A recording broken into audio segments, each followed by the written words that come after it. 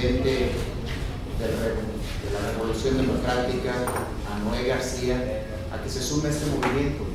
Desde el 2006 iniciamos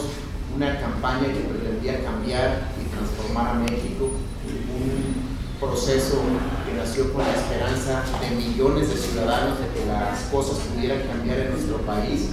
y que después de ver cómo se arrebata la presidencia por las instituciones y por la gente que ostenta el poder, movimiento ha seguido y creo que hoy, al pasar los años, queda demostrado, como dijo nuestro presidente, el peligro para México no era precisamente. El problema sigue siendo ese bipartidismo, esos